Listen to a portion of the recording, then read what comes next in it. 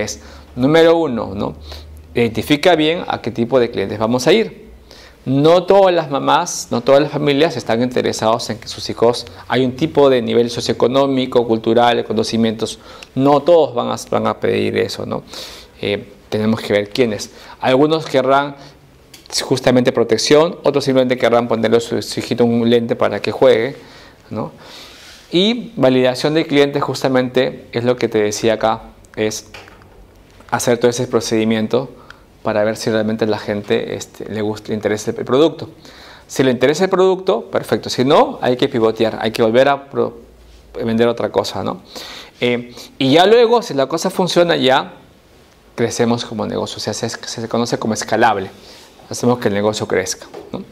Entonces, mucha gente empezó a hablar en este punto y dice, oye Edwin, pero, este, o sea, me está diciendo en otras palabras que lance el negocio y si me equivoco, porque, porque, porque, porque por acá me está diciendo que de todas maneras me voy a equivocar. Sí, de hecho, cuatro o cinco nos vamos a equivocar. Entonces, eh, yo tampoco tengo dinero para estar invirtiendo y poniendo negocios a cada rato, ¿no? Eh, entonces, en ese momento, justamente uno de los discípulos este, de, Steve Blank, uno también de los eh, emprendedores de, Silicon Valley en, Estados Unidos, conocido como Eric Rice, justamente creó una metodología que es la, la, ultimita, lo que está de moda, que se llama Lean Startup. Y lo que te dice Lean Startup, y eso está ahorita de moda, es eh, lo siguiente, ¿no? Y otra vez me refuerza eso. Ya, ya los otros autores nos han demostrado, nos han dicho de que la única manera de conocer al cliente es poner un negocio. Y queremos enfocarnos en probar la primera hipótesis. ¿Cuál es la primera hipótesis? Es? ¿Cuál es? Realmente conocer si mis clientes les va a gustar mi producto o mi servicio. ¿No es cierto? Entonces, pero la gente dice, oye, pero poner un negocio para ver si eso funciona, solamente para ver si funciona es muy caro. Entonces él dice, vamos a trabajar con una metodología llamada Lean Startup, que se conoce como desarrollo ágil. ¿Qué significa Lean Startup? Significa, mira, vamos a ponerlo por acá, más fácil. Está un poquito chiquito, les voy a ayudar. Primero crea el producto. ¿Correcto? En este caso vamos a vender papas, vamos a este, hacer lentes. ¿Qué vamos a hacer? ¿Qué? Centros educativos, este, tenemos el tema de, de, aceite de oliva, ¿correcto? Entonces, lo que tenemos que es, es vender algo para ver la reacción del cliente. Entonces, en vez de poner un local completo, simplemente compremos las papas a otra empresa, pongamos en nuestra marca y se conoce como producto mínimo viable o PMB. Esa es la primera cosa que tenemos que trabajar el día de hoy. Es, es un negocio con la mínima inversión posible, ya sea como producto o como servicio, para probar si algo funciona. Por ejemplo, tú vas a servicios educativos, ¿no? Este, son varios realidad los que tú puedes hacer. Entonces, una cosa que podrías trabajar es una página web y un blog. Y en la página web pones los cinco o los seis servicios que tú ofreces. 1, 2, 3, 4, 5, 6. Eh, en el blog empiezas a poner este, artículos con respecto, hablas en las redes sociales y ves qué cosa es lo que la gente más está eh, interesada. Y si está interesada en uno, recién lo ejecutas. Pero si pones el local, pones a los, a los profesores, a los profesionales, vas a vender ocho servicios a la vez, tienes ocho profesionales, y si no vendes, ¿no? Entonces Eric Reis lo que te dice es, no, si no conoces a tus clientes, ok, vas a lanzar el negocio, pero lo más pequeño posible. Vamos a hacerlo después de clase, en la segunda parte del, después de break, con costos variables en vez de costos fijos. Vamos a trabajar justamente el tema de costos. Un modelo tal en el cual el negocio sea lo suficientemente pequeño y flexible, en caso que me equivoque no pierda mucho, ese es justamente el lema, no pierda mucho, y en ese proceso buscar algún tipo de indicador de medición. Por ejemplo, ¿alguien quiere vender por internet en la clase? Ustedes. Entonces, si nosotros estamos, vamos a verlo más en un momento, ponemos la página web y le instalamos Google Analytics a la, página. Ahora te voy a explicar cómo, cómo instalarlo. Al instalarlo, tú puedes ver cuánta gente le ha puesto más, más vistas a cada producto y cuántos tipos más se han quedado en cada producto. Entonces, de esa manera tú puedes ver con una métrica, justamente una métrica, qué producto es el que más le interesa. Eh, tú puedes poner este, en Facebook cada servicio y ver cuánta gente más le hace comentarios. Entonces, la métrica justamente sirve para ver qué productos son los mejores, son los que pueden funcionar. O los que más están vendiendo, en todo caso, también es otra métrica. ¿Cuántas ventas tengo de cada producto? Y una vez que la métrica me salga algo coherente, o sea, algo rentable, entonces en ese momento aprendo qué cosa puedo mejorar y lo ejecuto. Si no, otra vez pivoteo y otra vez hago el mismo procedimiento. Esta metodología de Lean Startup también se le llama equivócate rápido, equivócate barato. Porque de todas maneras nos vamos a equivocar al inicio, es parte del proceso de ser emprendedor. ¿no? La famosa metodología de Lean Startup, que está actualmente este, siendo desarrollada en un montón de, países. Bien. Todas, todas esas metodologías se las voy a pasar a ustedes por correo, para los manuales, los libros también para que los lean. Obviamente vamos a trabajar ahorita la clase con un ejemplo, pero quiero un poco que entiendan las nuevas, la nueva filosofía de cómo se está trabajando ahorita el tema de los, el tema de emprendimiento. Sí. ¿Cuál sería lo fundamental o, la diferencia de una startup? Una startup, en inglés, ¿no? en español, un, un emprendedor, es aquella persona que quiere poner un negocio, quiere venderle a un tipo de cliente, pero realmente no lo conoce. ¿De alguna manera quiere innovar en algo? O sea, puede que puedes querer innovar, puede que no, pero no lo conoces. Entonces tú vas a crear una empresa para ofrecer un producto o un servicio en base a tus propios juicios, en base a tu propia experiencia, a lo que hayas encontrado. ¿no? Eh, por ejemplo, yo quiero poner una, una no sé, una, una cafetería, un restaurante para mascotas. Porque veo que cada vez hay más animalitos en Lima, la gente gasta más. De hecho, tengo varios clientes que tienen locales para mascotas.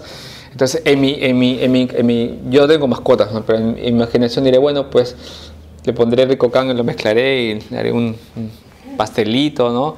Pondré este, algunas cosas para jugar. Eh, es mi imaginación.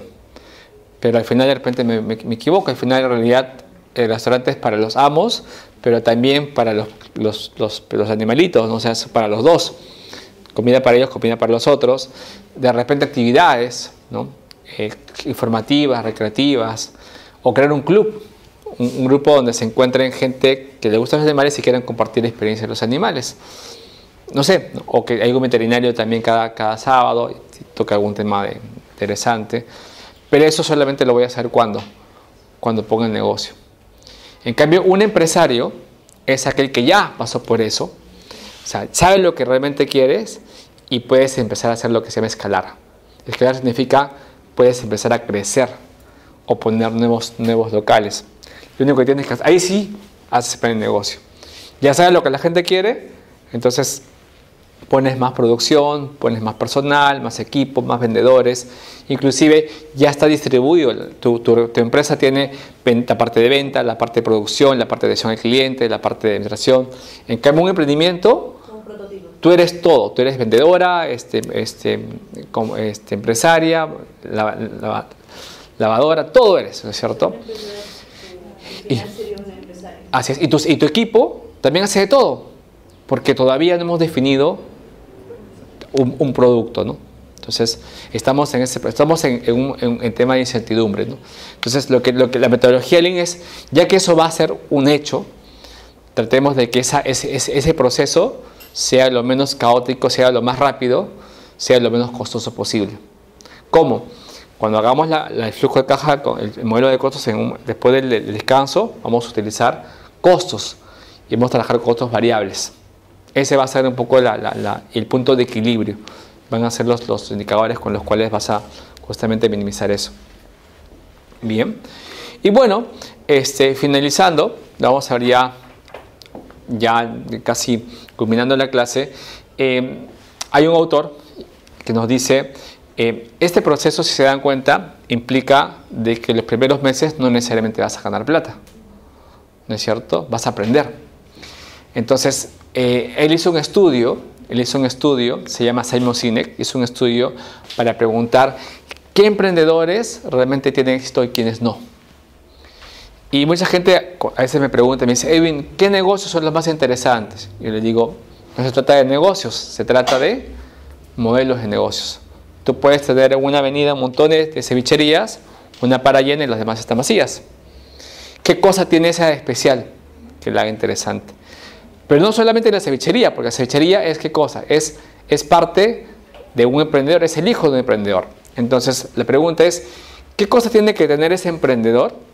¿Qué características tiene que tener ese emprendedor para que el negocio eventualmente, no inmediatamente, eventualmente sea exitoso? Y justamente él trabajó una metodología llamada los arcos dorados, que son el, el, el por qué, está acá chiquito, el cómo y el qué, ¿no? Acá está más grande, ¿no? Digamos que el círculo es más grande, obviamente, el por qué, el cómo y el qué. ¿Y qué, y qué cosa es esto del qué, el cómo y el qué? Básicamente, a ver, un voluntario. Por ahí de repente más al fondo, los que recién han llegado. Este señor, de gorrita, ¿qué negocio vamos a, vamos a poner? ¿Perdón? Una ferretería. ¿Cuál es su nombre? Luis, Luis, ¿a, a quién le vamos a vender? como usted dice, no hay que ubicar al cliente objetivo para poder. Ya. Pero, a ver, uno que tenga definido un cliente. ¿Tú has definido ya un tipo de cliente? ¿Me repites su nombre? Jessica, Jessica. A ver, vamos contigo. yo quiero hacer importación de productos tecnológicos. Ya, bacán. Entonces, ya me respondiste el qué, ¿no es cierto? ¿Qué cosa vas a hacer? Voy a importar productos tecnológicos. ¿Cómo? ¿No es cierto? Es la segunda pregunta. Entonces, tú me dirás, Edwin, para eso he venido, para que me digas el, el cómo. ¿no? Entonces, ya en la asesoría veremos de repente si traemos por importación simplificada, si traemos de Estados Unidos con marca, si traemos de, China sin marca, eh, cuál va a ser el proceso en, el MTC, en la buse para, para importar los productos que tengan Wi-Fi, ¿no es cierto? Si lo vamos a vender por, inter- por internet, ¿no es cierto? En una página web, lo vamos a trabajar en Wix, usaremos PayPal, transferencia bancaria. Todo el curso básicamente se trabaja el tema del cómo. Pero si yo te pregunto a ti como persona, Jessica, ¿por qué estás acá en, en las clases? ¿Por qué has decidido poner este negocio en vez de de repente buscar un trabajo? ¿Por qué has decidido ser emprendedora y, y- y no este, estar como la mayoría en la zona de confort trabajando en una empresa? ¿no? ¿Qué razones tenemos todos para, para hacer una empresa o para convertirnos en emprendedores? Tú dices autonomía, ¿no? Yo quiero mandar, aunque esté solito, mando a mí mismo, pero, pero no quiero que nadie me, me dirija. Perfecto. Otra opción es dinero, completamente válido, ¿no? Quiero hacer más plata. No tiene nada de malo mientras no le robe a nadie, no es malo que yo quiera ser millonario, quiera hacer más plata. ¿Qué otras razones tenemos? tranquilidad. Ya.